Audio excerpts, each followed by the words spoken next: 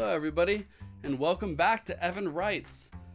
Today is going to be a really crazy book haul video. It is my first book haul of 2020, but this includes a couple of books that I have bought since the beginning of the year and the very last days of December of last year. This book haul is ginormous and you will see the cause of that a little later on. To keep this video short, I'm not going to go into too much of a spiel. Before I get started, go ahead and like and subscribe if you like this content. Make sure to follow the other booktubers and author tubers who have done collaborations with me. It's been really fun. I'm to get back into my normal stride now, aside from writing all those little stories and doing those videos relating to drawing.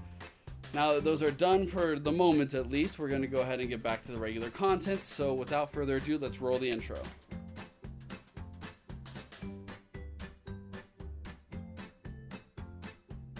I'm going to start this book haul off with some of the smaller books that I got because at the end there is a doozy of a haul that I got really lucky to get something I'd been looking for for a while and I figured I'd end up getting piece by piece but I ended up getting it all at once out of a sheer strain of luck for a really good price and I will share that at the end. So before I get started I'm going to go ahead and share the first two books that I got. I went ahead and got Scythe and Thunderhead the first two books of the Scythe trilogy. I will eventually get the Toll as well as long as I like these first two books. I got them together for a pretty good price. I think it was like $10 for the two.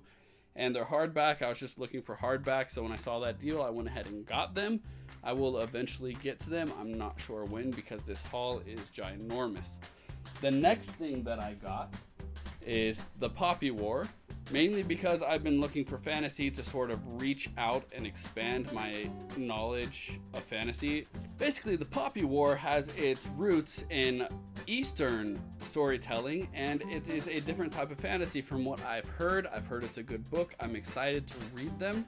I know there's at least one other book out in this set, and I think it's supposed to be a trilogy, but the third one might not be out yet. I'm not entirely sure. As I said, I don't know much about this but I'm excited to expand my horizons with this book. The next one I got is Joe Abercrombie's A Little Hatred. Now, this one was a signed copy. That's one of the reasons I got it. And it was also, I think, 50% off at Barnes & Noble at the end of last year when I grabbed it. I heard that Joe Abercrombie writes really good books and that it's a type of grimdark fantasy. And I haven't really read much grimdark fantasy, though some fantasies I have read have had grimdark elements, but I wouldn't necessarily classify them as grimdark. Like the Night Angel trilogy, for example, is very dark in some ways, but at the same time not. But I heard A Little Hatred was really good. I believe it was Daniel Greene that said it was better than his other trilogy. So I grabbed this one and figured I'd go ahead and start with this one. Hopefully that'll expand my horizons a little bit. Aside from that, this is more of a sci-fi entry. I grabbed the Dune anniversary. I believe it's an anniversary edition, probably like the 25th anniversary. I know it's an old book, maybe even older than that, but I just liked how it looked, and I heard Dune is really good. It was mentioned by Brandon Sanderson and many other famous authors uh, when they talk about things that they liked and things that they pull some of their inspiration from. So I will eventually get to Dune. I know it's a very large series, but I only really plan to read the first one unless the other ones are necessary to understand it more. As for the other books, this is a book that I've actually started reading after I finished The Wise Man's Fear, which I will get to in another video with my review on. I grabbed We Hunt the Flame, and I grabbed this one mainly because the author is of Middle Eastern descent and her storytelling takes a lot of inspiration from the Middle Eastern culture and I wanted to see a fantasy and read and understand a fantasy based on the Middle Eastern culture and expand my horizons, much like the reason I grabbed the Poppy War. But I grabbed this one first. Now, this is a book that I was planning to buy back when I got The Ruin of Kings, which was one of my first review videos.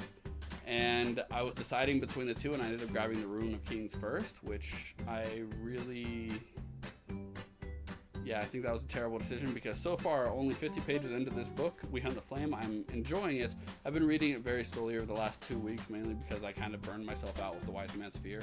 But I will get back into it, and once this picks up a little bit more, I think I'm going to breeze through the rest of the book.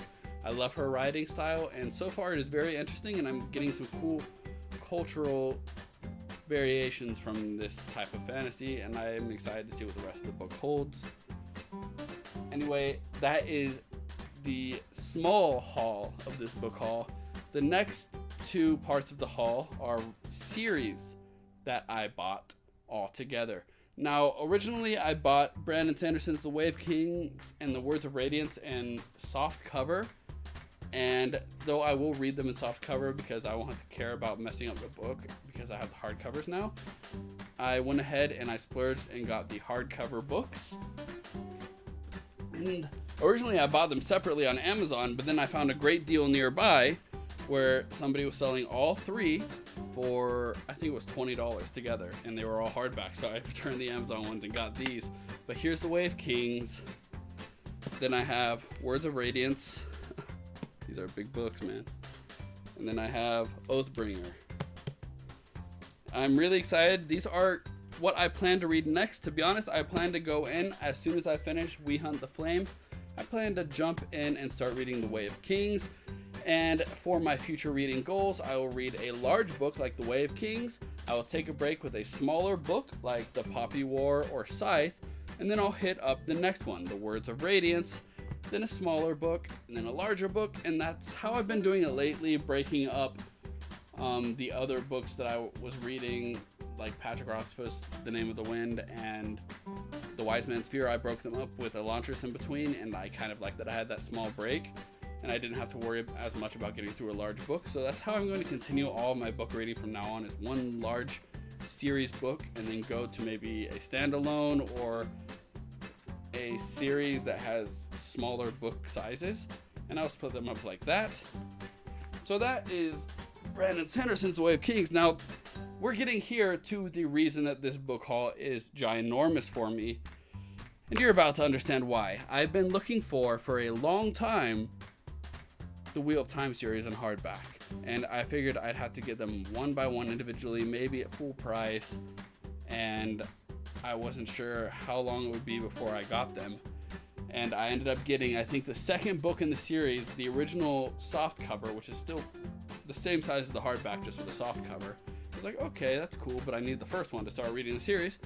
And I ended up finding an ad nearby on something sort of like Craigslist near my area, but it's safer. It's pretty much an online classifieds where people can post what they want to sell, and it's safer than Craigslist in my opinion. I haven't had any issues with them, and I found some really good deals, and this is one of them. I found the entire Wheel of Time series, hardback, including the prequel novel. So this is 15 books, all for $60. Hardback, very good condition. I am super proud that I got this. As soon as I saw it, I instantly messaged the person and went and got them that same day because I'd been looking for them for a long time and checking the site over and over again to maybe pick off one or two of these books as I saw them come up if anybody sold them. But when I got the whole series, man, I was so happy. So I'm gonna try to show them to you. There's so many, they're huge. as you can tell, here's like the first six, including the prologue. Okay, there's the first seven, including the uh, prequel which I'm told I should not read first because it has spoilers for later in the series. So if any of you have read The Wheel of Time and you know the best time to read that prequel book, in between what novels or when it's safe to read it, let me know because it kind of feels weird not to read the prequel first, but I do understand if it has spoilers, I should leave it alone until I get to a safe spot in the series. I imagine I don't have to read the whole series before I get to it, so just let me know in the comments if you've read them before and if you read the prequel which the prequel is called, I guess, Wheel Time in the beginning, New Spring, the novel. I'm not sure which part of that's the actual title, but let me know when it's safe to read that. So these are those first seven books. Ah, loud, right? And now, for the last eight of these books. There you go. All of them right there. I'm not going to hold them up one by one. I'm just going to grab them all together. But I got these books and I was so excited and I'm glad that I managed to pull this haul. It is a huge book haul and it is going to take me all year and longer probably to read through all these books. I still plan to go and get other books along the way. My reading list is now really huge, mainly because the Wheel of Time series is really huge. But as I said, I'm going to be breaking each larger volume up with smaller books in between, so I will continue to buy smaller books to read in between them. Anyway, I'm gonna set these down, they're huge. Move, cat. Yeah, I don't wanna hurt you. A ton of books. They weigh more than you do. Probably two of them weigh more than you do, to be honest. I hope you enjoyed the book haul video. If there are any of those books you think I should read next, let me know. I'm currently reading We Hunt the Flame, as I said, and then I plan to hit The Way of Kings after that. But if there is a book in between The Way of Kings and Words of Radiance that you think I should read from this haul, let me know and give me your reasons why. Anyway, have a great day. Like and subscribe if you haven't and you want to keep seeing this content. And have a great day, everybody.